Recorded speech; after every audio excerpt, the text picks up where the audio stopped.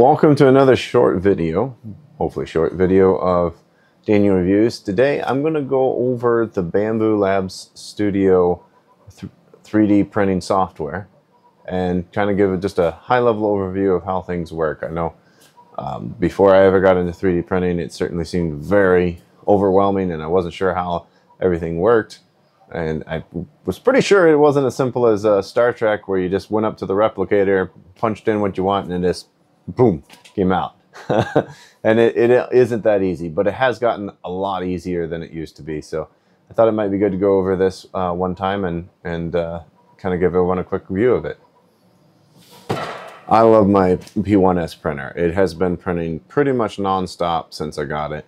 I've had very few issues, uh, a couple things that I've had to work on, but for the most part, it just it's a workhorse, and, and I can't recommend it enough. It's fantastic.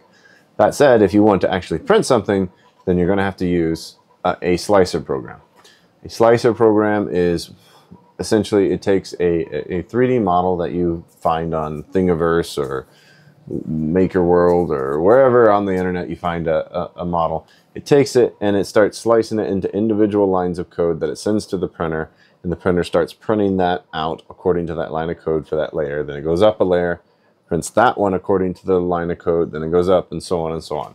If you have a really tall object, you're to have lots of layers. If you have a really thin object, you're going to have not so many layers, but it could still just be as complicated. But that's essentially how it works is it kind of stacks it up and builds the, the item as it prints it out. Again, you can use multiple different slicers. There's a uh, Cura slicer, there's Prusa slicer, there's Orca, I think, uh, and then of course there's the Bambu Labs slicer. And honestly, I like the slicer that Bambu Labs has put together. One, I kind of like that it's special driven just for their printers. Now you can add in additional printers and they totally support that. That's fine. But it's nice knowing that, hey, this slicer was built specifically with my printer in mind. It's not trying to be all to everything. And it just makes a lot of things a lot easier. So it's a pretty cool program. I'm going to go through it. Um, there are limitations, but I, I think for the most part, it does a really good job. Here I have just booted up Bambu Lab Studio. Essentially, I have a blank plate. There's nothing, nothing to print on it. It's just a, uh, you know, a picture of my uh, build plate. So if I want to print something, I, you know, I could either go and open a project, you know, that I've recently saved or somebody else has saved. You know, I could get into one of those, or I can import a model. There's different types of files, um, just like a Word doc. There's different type of 3D model uh, files. So there's STL is probably the most famous uh, or most commonly used, but there's 3MF, there's STEP, there's SVG, OBJ, AMF, so on. Um, you can import here, and essentially it just opens up the dialog. And let's uh, let's just import this. You can import one object, or you can import multiple objects. If you do multiple objects, it's going to ask you whether you want to do a single object with multiple parts uh, I do not. I want this to be three individual objects. So you can see they're all on top of each other. Um, you can click and drag to move around. Uh, this moves like if you're holding the right uh, mouse button, this will move it like this and this. If you hold the left button, it'll spin it around.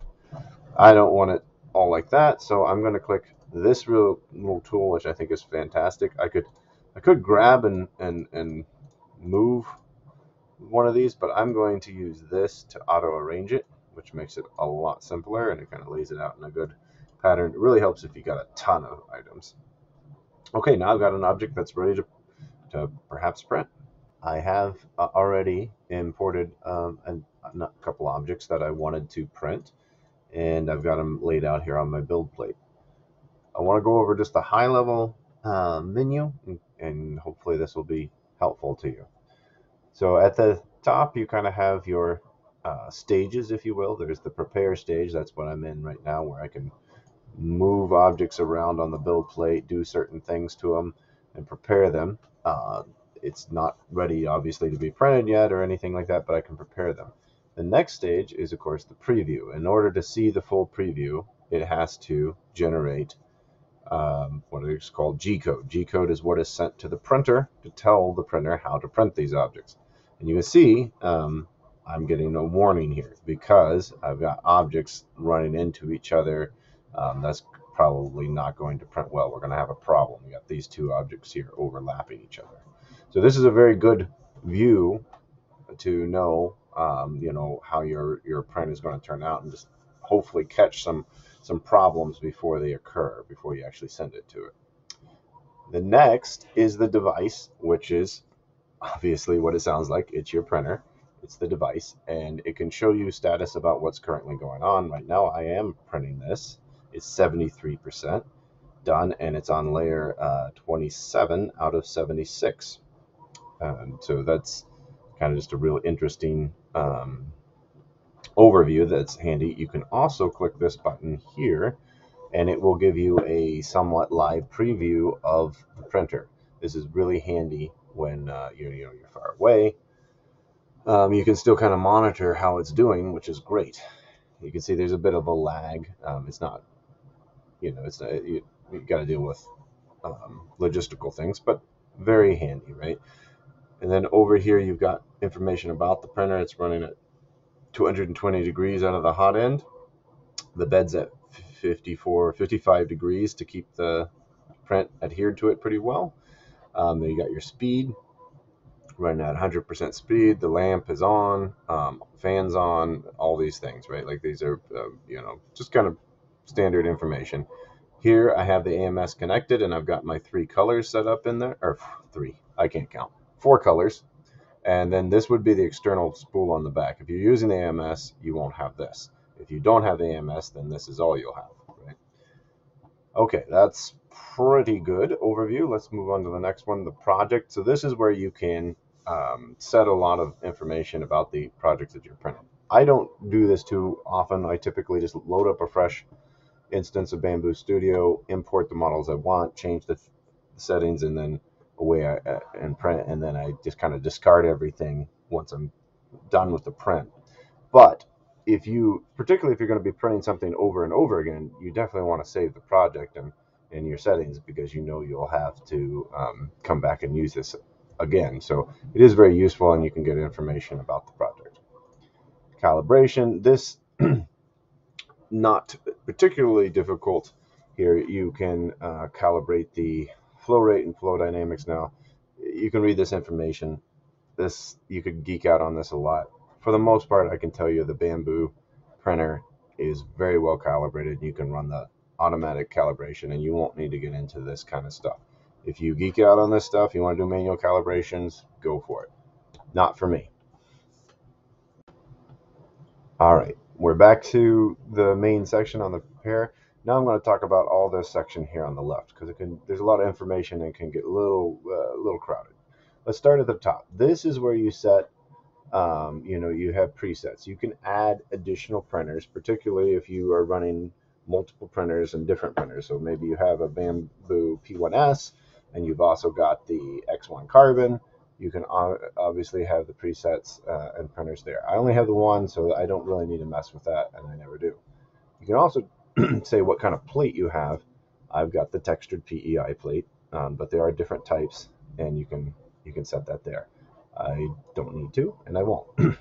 this can be helpful because sometimes this gets out of sync, particularly if you're loading someone else's project in Bambu Labs. But right here, you can sync the filament um, from you know what you actually have in your AMS. Mine's already synced. I've got the same colors, but if for some reason these got all mixed up or whatever, you can just hit sync and it'll put them back in alignment. So I've, in my AMS, I currently have white, gray, black, and red. That's correct. Um, you can obviously change that here, but this is only for the project. It doesn't obviously change what is in your AMS. You would have to go change your AMS, right? Okay.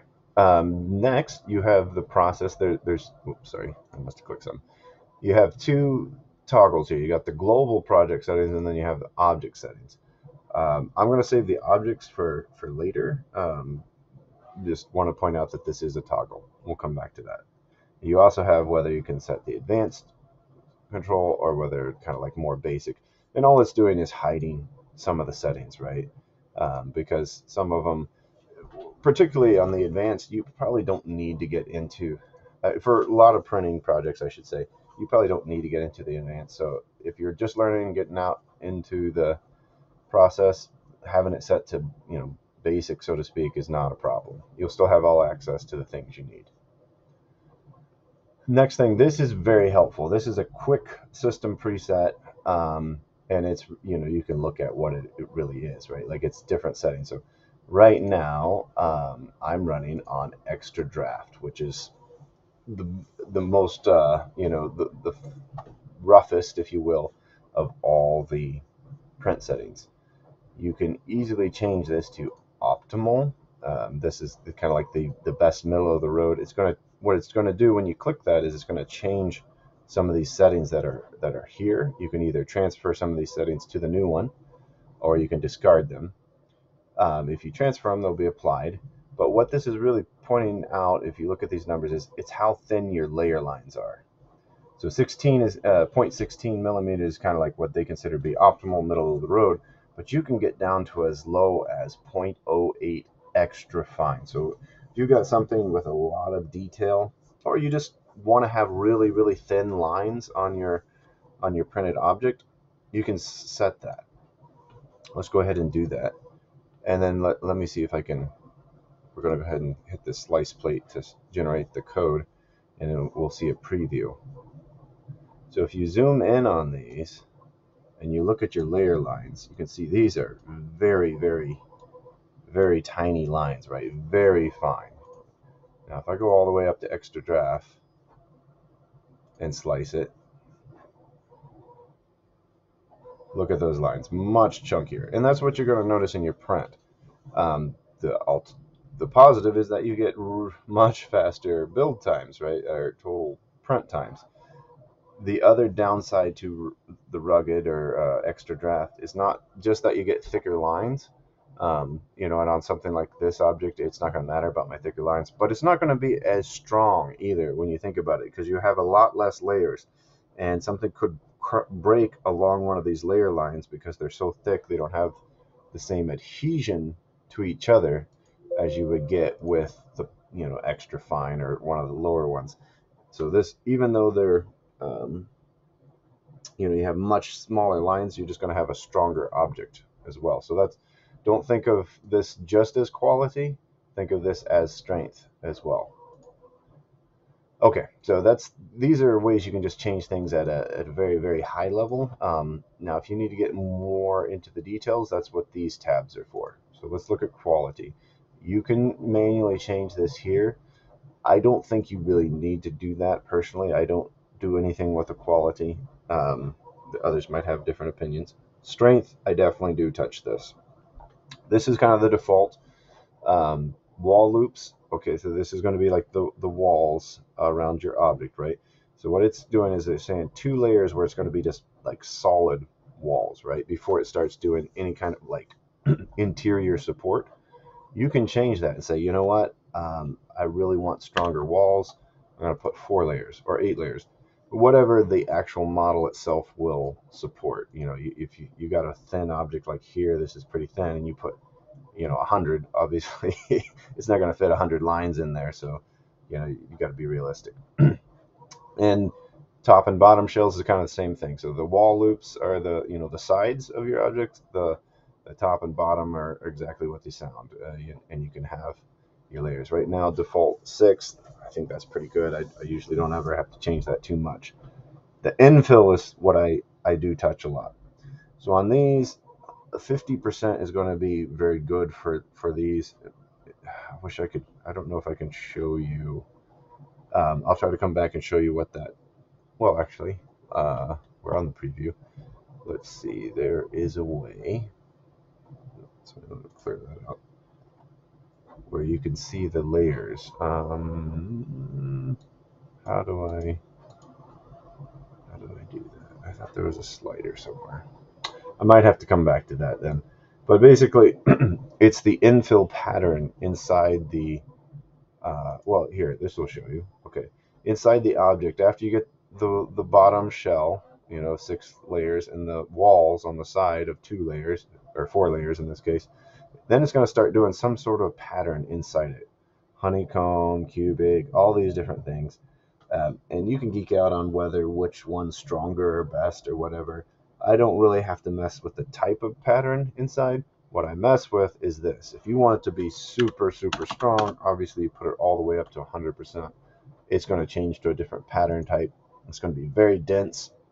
You're going to use a lot more filament, um, but it's going to be the strongest object that you can print.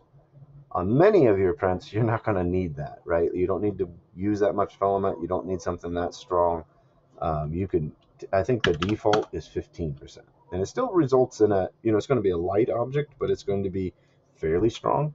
And so you kind of just play with this to get the, you know, the level that you want. So this is a setting I change a, a lot depending on what I'm printing. I'm going to make it, you know, stronger or weaker, so to speak, based on what the object is. Lastly is support. So if you've got a complicated object, these are not complicated. They can be printed just as is. But if it's if you do have something more tricky, you're going to need support. Let's take this. I'm just going to flip this around. So let me show you. If I try to print this like just like it is, we're going to have a real problem because the printer is going to go, it builds from the bottom up, right? So it prints, prints, prints. It's going to print this part. Then it's going to start printing out here. And eventually you're going to get way out over something with nothing underneath it to support it. That's going to cause a real problem. And it's probably going to fail um, because it needs what they call support. So you can enable support. It'll do an auto thing. Let's just slice this and it'll show you what that support's going to look like on this object. So look at this. You can see it's building out this support here so that this part of the object will be supported when it gets to printing that part. The idea is that you can just break these off. Sometimes they break off really easy and sometimes they definitely do not. I prefer most of the time to use a tree uh, type of support and I'll show you the difference between that. It looks like a tree, right? But you can see not nearly as much of it is on the object itself. It's a lot thinner where it touches the object, so it's easier to break. And not, not super easy, but it is easier to break and would be an easier support if I needed to print something like this. You obviously want to try to print not having to use supports as best you can, but depending on what you're printing, there's just no way around it sometimes. You can adjust the angle. You can say whether you want it on the build plate only. So sometimes it will, it's a very complicated object, it'll use tree supports on the object itself. Otherwise, they come up from the build plate and lean in like that. Last section here is the bed adhesion and the prime tower. If you're doing a multiple, a multicolor print, um, this will get enabled by default. And what it will do is if you have two colors, let's um, let's go back and change one of these to black. Now we have a, it's creating a prime tower. So it's going to print all of these objects in, in the white. It's going to print this one in the black. And then what it does is it goes over here to this prime tower and kind of discards any of the black that's in the in the print head before it starts printing the next layer of white over here. It's going to dramatically slow down your, your print time but you can change this uh, by default I think it's like 40 by 40 I usually change mine to 20 by 20 as a prime tower. Uh, it's just personal preference. The other thing you can do is you can flush into the infill. So it's saying like okay you can take that black that you've got in this in the print head and you can put it on the inside of one of these objects where it's not going to show. So that would you know, help um, reduce some of your waste. All right that is that is it. That's the basics of Bambu uh, Studio. Like I said, you can turn on the advanced and we can get a little bit deeper into the settings, but not for this. I don't think we're going to do that. We're just going to stay pretty basic, and that should get you around at least the initial parts. Okay, that's the basic overview. There's a, a lot more you can do in uh, the, the slicer. Uh, I'll get into how you print object or uh, paint objects for multiple colors duplicate, scale, clone, all that. I, I, think we'll save that in a separate video. I just wanted to give you a, a high level overview. If you import a model and want to print it, this should get you up and running. That's it for this video. I'll see you in the next one. Take care of yourselves. Thanks.